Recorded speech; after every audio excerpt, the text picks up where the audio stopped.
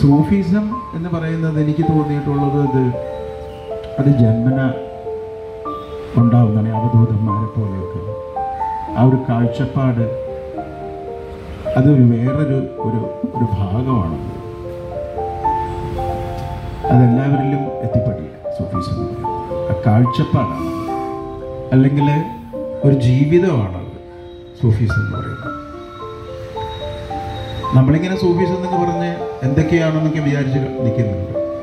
പക്ഷേ അത് റിയലായിട്ട് മനസ്സിലാക്കാനും ആത്മാ പരമാത്മ നീ തന്നെ ഞാൻ എന്ന് പറയുന്ന ഒരു സംഭവമുണ്ടല്ലോ. അത് എല്ലാവർക്കും അതാണ് തുഹി തു എന്നൊക്കെ പറയുന്ന ഒരു ഒരു കൽപ്പനയുണ്ട്. അത് നമ്മളത് അറിയാതെ നമ്മളിലേക്ക് തന്നെ ഇറങ്ങിച്ചില്ല നമ്മൾ തന്നെ ഞാൻ. എന്നിൽ തന്നെ എല്ലാം ഉണ്ട് വേറെ എവിടെയും പോകണ്ട നമ്മളിലേക്ക് തന്നെ കാഴ്ചപ്പാട് നമ്മളിലേക്ക് തന്നെ റിയലൈസേഷൻ നമ്മളിലേക്ക് എത്തിപ്പെടുക പുറത്തല്ല ഉള്ളത് बाहर देखे सत्य नहीं है भीतर देखे सत्य वही है मान ले अब तू भोले रे भोले रे भोले रे അതേപോലെ ആ, ഇതാണ് സൂഫിസ് എന്ന് പറയുന്നത് ശരിക്കും പണ്ട് നമ്മളിൽ അവധൂതന്മാർ ഇന്നുണ്ട്. എന്നുണ്ട്. ലോകത്തിന്റെ തുടക്കം മുതൽ അവധൂതന്മാരുണ്ട് സൂഫീസുണ്ട് അത് തന്നെയാണ് നമ്മുടെ പ്രാർത്ഥനയും.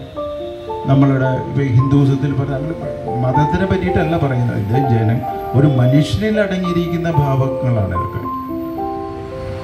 ഇതൊരു മതത്തിന്റെ പിന്നാലെയോ അങ്ങനെയുള്ളൊരു സാധനമല്ല സൂഫീസ് എന്നൊക്കെ പറയുന്നത്. അതിൽ മതങ്ങൾ എത്രയോ വർഷങ്ങൾക്ക് മുമ്പേ മതങ്ങളൊന്നും ഇല്ലാത്ത സമയത്ത് ഉള്ളതാണ് ഇതൊക്കെ. പിന്നെ നമ്മൾ തന്നെ മനുഷ്യന്മാരെന്നെ ഉണ്ടാക്കി ഉണ്ടാക്കി വന്നിട്ടുള്ള ഇതിലാണ് വരുന്നത്. പക്ഷേ അതിൽ എത്തിപ്പെട്ട് റഹീംജി മനസ്സിലാക്കി അദ്ദേഹത്തിന്റെ എനിക്ക് തോന്നുന്നു അദ്ദേഹം പറഞ്ഞു കേട്ടപ്പോൾ അദ്ദേഹത്തിന്റെ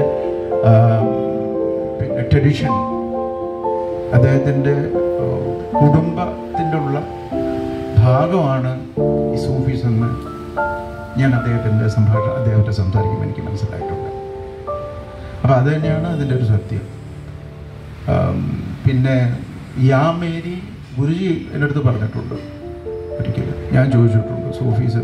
സൂഫീസ് രമേഷ് കുച്ച്.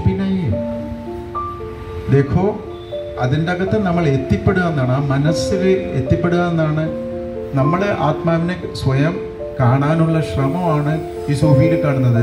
അത് തന്നെയാണ് തൂഹി തൂ എന്ന് പറയുന്നതാണ് എന്റെ പ്രധാന ഒരു ഉദ്ദേശം. ഞാൻ മനസ്സിലാക്കിയിട്ടുള്ളൂ ഗുരുജിയിൽ നിന്നും പറഞ്ഞിട്ടുണ്ട് യാ മേരി മോല യാ ഹി റസൂലല്ല യാ മേരി മോല യാ ലീ റസൂലല്ല യാ മേരി മോല യാ ലീ റസൂലല്ല खींच लिया क्यों अपना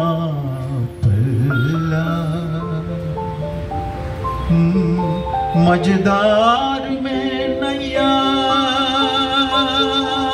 मजदार में मजदार में नैया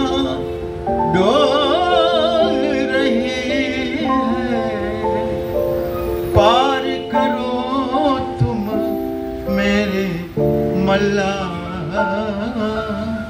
या मेरी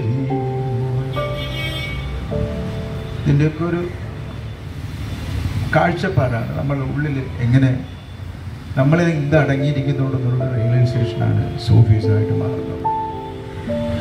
അതിൽ ഇദ്ദേഹത്തിന്റെ രചനയിലുള്ള സൂഫിസത്തെ കണ്ടെത്താൻ ഇദ്ദേഹത്തിലുള്ള സൂഫിസം ഇദ്ദേഹത്തിന്റെ രചനയിലൂടെ കണ്ടെത്തുന്നു. ഇതെന്നൊക്കെയാണ് എനിക്ക് മനസ്സിലാക്കാൻ കഴിഞ്ഞിട്ടുള്ളത്.